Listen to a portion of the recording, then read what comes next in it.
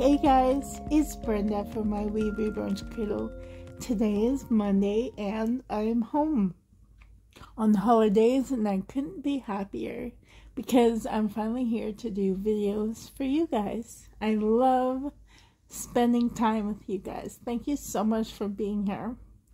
Today I have Etienne Soleil. He is the Bluebell sculpt by Cassie Brace and he was reborn by Lacey Molson in Canada and he came to me as a girl but I changed him into a boy. He is so sweet. He's one of my favorites and he's actually a big boy.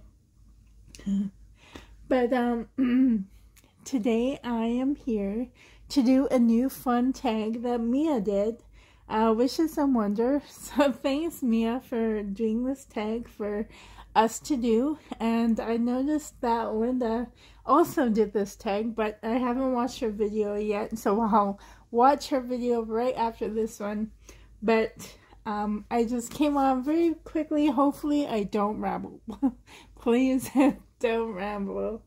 Uh, she has 10 questions and it's called Little Me. So basically about little Brenda when I was young and questions about my childhood, about our childhood.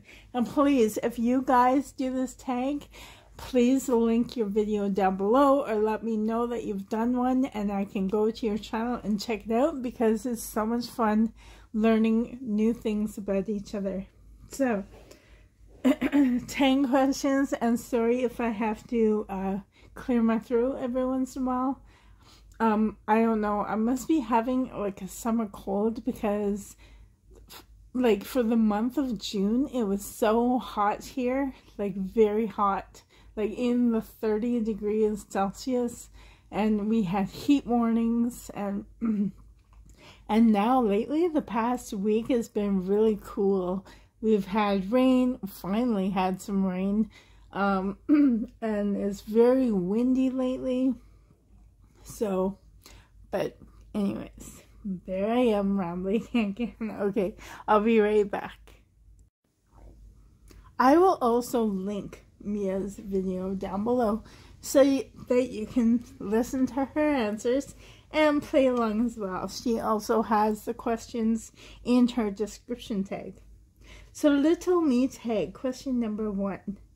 Were you born an old soul or young, wild, and free? Um, I, okay, around adults, I am an old soul. But of course, the inner child, the inner me is always young, wild, and free. I always did listen to authority and listen to rules, obeyed rules. Um, well, because there were serious consequences if we disobeyed. So, I was born in 1973, so that means my young self was in the late 70s and the early 80s, and discipline back then is a lot different than it is now. So, there you go. Number two, were you a city kid or a country bumpkin? Um, I grew up at a lake, actually. We moved there when I was four years old, into a very small community. It was uh, the government housing community for the airport. There were only meteorologists, um, airport uh, mechanics, um, the airport security, and like the the radio. You know, the people that watch in the tower and talk to the airplanes, like the the radar and stuff. So there was that. The the airplane people, and then we had uh, firemen live at the airport, and no one else was allowed to live there. So it was a community of maybe 20 families at, at the most, and thus most of those did not have kids. So, but there are around 20 houses out there. but we I had the woods as my backyard and the lake as my backyard for many, many years. So I am definitely a country lake bumpkin. uh, number three, roller skating or bike riding. I remember having roller skates, the one with the four wheels on it. Uh, you wear your shoes and you can clip on the wheels underneath. And they had a key that you had to twist and make sure that they fit over your shoe. I remember those. Um, I did roller skate, but not as much. I loved the bike ride, and that includes in the back trails in the woods. So bike riding, definitely. Wait, I'll be back. I'm having coughing fits again. Number four, ribbons and curls or climb trees and scrape knees. Both, but I think mostly climb trees and scrape knees. I was definitely one of those tomboys and I loved, you know what, I was so athletic back then too. I could run, I could climb trees. Honestly, I wanted to be Rambo. that's that's how much I used to run on rocks. Oh my goodness, what was I thinking? I used to, um, oh, I used to do so many things but you know what, though? Being a young girl, my dad would not allow me to work with any tools. So even if I wanted to build myself a fort, um, I wasn't allowed hammers, rope, nails, screwdrivers, nothing. So I used to build shelters with the nature items I could find. I wasn't even allowed to use any rope. I could have my mom's yarn if I wanted, but I wasn't allowed that but I could have all this girl stuff if I wanted. So I used to also bring like old kitchen pots out to the forts, which was a lot of fun. I love making mud pies. And anyways, I'm just totally going back in my memories now. By the way, if you hear any yelling, Eric is here at home. He's playing video games in his room.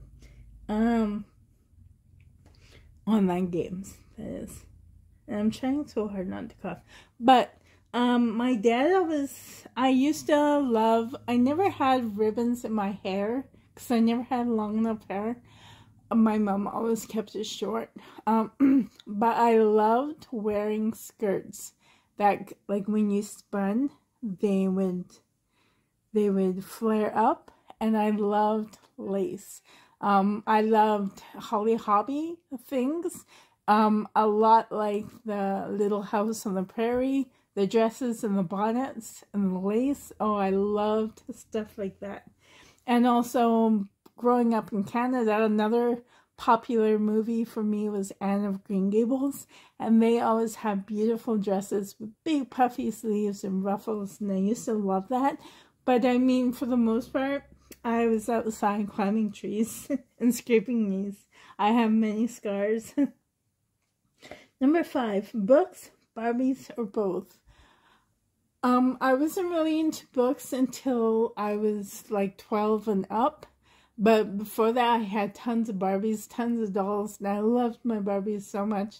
Um, there was a time in school when I was, uh, my academics were like not as great as what they were in primary school.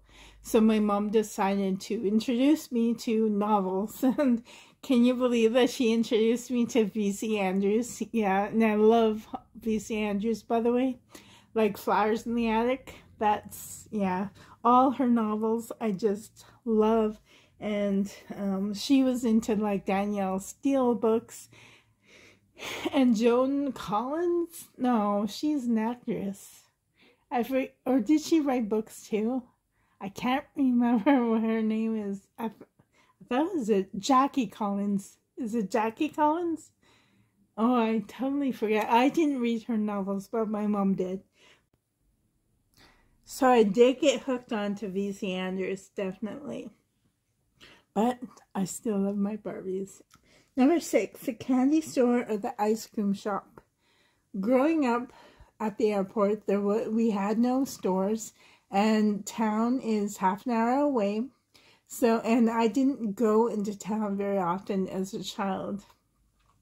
There was um, a few times I'd go into town with my dad. Well, we didn't go all the way into town. We went to, um, on the way into town, there was this gas station and they had a corner store. And my dad used to buy himself a hot rod and a pep bar all like all the time. It never failed, and I would get cheesies. And I remember, I remember the first time my dad came out with two hot rods, and I was thinking, wow, my dad's so lucky because he would let me have a bite of his hot rod every once in a while, but he never bought me a hot rod. But I remember that very first time he bought me my very own hot rod, and I couldn't have been, I couldn't have felt old, like so proud and old and mature, and oh, I get my own hot rod. How cool is this? So, so I guess that was kind of like a candy store. Um, we every summer we did go visit back home, which is Ontario, Southern Ontario. That's where both my parents are from. They're from Southeast Ontario, and in town, which is a very small town, it's called Deseronto, which is five minutes away from Napanee. But um, Deseronto had this candy corner store, and we didn't have any money though to really spend on ourselves, but Every once in a while, my uncles or aunts would treat us to ice cream, and we used to love it so much. but at the airport, we had nothing. Um, we had wild strawberries everywhere. That was my favorite treat. And if you don't know, wild strawberries are extremely small. They're like the size of a pea, like right in your hand. And I didn't even know like, you know, the strawberries you buy in the stores are huge, right? I've never seen a huge strawberry until I was 12, a domestic strawberry. So you should have seen my eyes the very first time I saw a domestic strawberry. I'm like, oh my God, I'm in heaven. I didn't know they came that big. so yeah, we only had like wild raspberries and wild strawberries. And that was the my treat that I would treat myself to. Number seven, Marcia, Jan, or Cindy. In other words, are you the oldest, middle, or youngest child in your family? That's Eric. Um, I am the oldest, so I guess I'm a Marcia. I only have one brother, and he's three years younger than me. Now, my brother, though, is personality is very different than mine. Technically, he's only my half brother, but I mean, we grew up together. My mom entered my life when I was like just under two. So she's my mom, even though technically she's my stepmom. But um, there's only my brother and I. And even though I'm older, I didn't act older. so, but I mean, around the parents, yes. I was the oldest, I act the oldest, but I was always young kid at heart. My best friends are two or three years younger than I am, or even more. So, number eight now, for your school days. Were, did you have private school, public school, or paro... I should have listened to how she said that Parochial? Parochial? Kyle? I don't know what that means. Is that a religious school? Maybe? I'm guessing. I never seen that word before. I went to a public school, which is in the Pas. That's where I live now. So yes, I live close to my childhood neighborhood. Um, our community at the airport had to uh, abandoned in 1991. So, um, yeah, our my old. Why is it making me sad? it's abandoned right now. The houses are gone. The streets are still there. Our driveways are still there. Fire hydrants are still there. So, but you know what's crazy? In my favorite genre of all of ever is dystopian or ap- ap- apocalyptic type. End of the world survival movies. I love those so much. Um, like Deep Impact movies like um, oh War of Worlds. I love those types. So, anyways, thinking about every time I think about the airport being abandoned and how sad it is. sorry, I think about my favorite genre, and that's abandoned places. I also am fascinated with abandoned places. And here, my favorite, my own childhood place is abandoned and apocalyptic. I go there, things are grown in. Did you know that my old fort is still there, but it all fell onto the ground, and there's the sticks fell in like where they were as my roof and I used I used to place big rocks for a path and they're grown in with moss. It's crazy. I should insert a picture.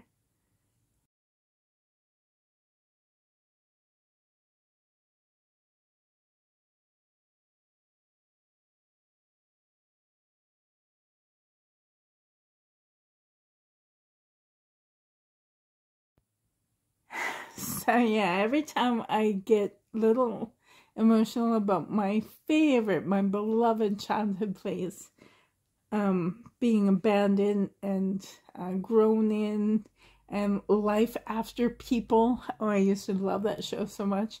My place is exactly like that. So, how ironic is that? so, number nine, did I cut or skip classes or was I the teacher's pet? um, I would never skip or never ever cut. The consequences for that would be extremely harsh. Well, in my eyes. I mean, all, all I have to do is my mom look at me angrily and I feel guilty. so, um, I did cut skip university classes because no one ever knew for myself. But um, even though we lived at the airport half an hour away from town, my parents knew if we cut or skip or not. They knew enough people that they kept an eye on us. My mom is extremely social and extremely extrovert. She knows everyone, everyone knows her. I'm a lot like my dad. He's he's open minded. He's quiet. He's respectful. he is actually like the Archie Bunker, really and truly. But I mean, but he's accepting. Um, sure, he might say a few bad jokes, but um, but my mom and my brother personality is a lot like they're they're really outgoing they need to know people. They talk they gossip they they, keep tabs on everything. Um and as for a teacher's pet there was only one year i was a teacher's pet. All the other years um I was really quiet and reserved and shy. I didn't talk to anyone and I didn't want to talk to my I never talked to my parents and I never talked to my teachers. Remember, I'm from the late 70s, early 80s. I graduated in 91. This was a time when you didn't really confide in adults. I mean, you confided in your friends and maybe some aunties, cool aunties, but other than that, you don't talk to your parents, you don't talk to your teachers. So, but anyways, grade seven, I had a really amazing teacher, and I was her teacher's pet. I did things for her, I asked to do things for her.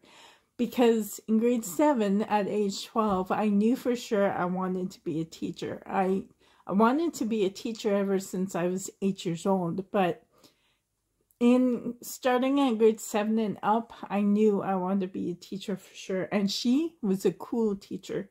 So I wanted to know everything I could about her and her habits and her management skills and her organizational skills. I wanted to know it. So I I was her teacher pet. So I was with her. Can I do this for you? Can I do that for you? Oh, show me how you do this. Show me how you do that. so that was the only year though. My grade eight and all through high school, I didn't talk to any teachers unless I had to, which was really rare. So, and the last one, were your favorite memories between the ages of 1 to 10 or 11 to 20? You know what? I have favorite memories. I have a really good memory. People comment to me how well my memory is, even even my memory from like my 30s, my 40s. Here I go rambling again. How long did I ramble for? Anyways, guys, this was a lot of fun.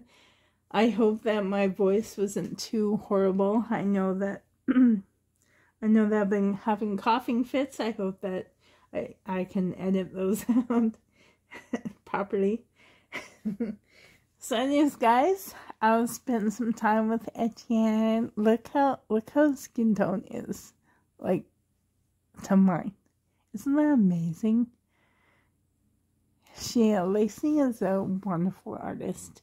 I really love her work. She is into fantasy alternative dolls now. And oh, oh, just amazing. She does rare pups. Oh, I love her work.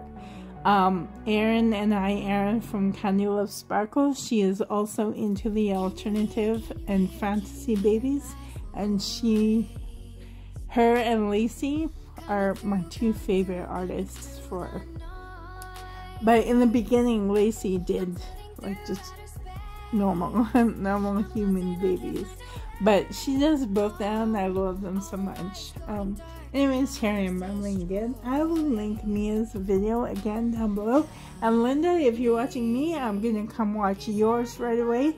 So anyways, guys, hope that you're having a great day. Thank you so much for joining me. Have a great day, guys. And until next time, very, very soon. Much time, guys. Much time. Love you guys. Until next time. Bye.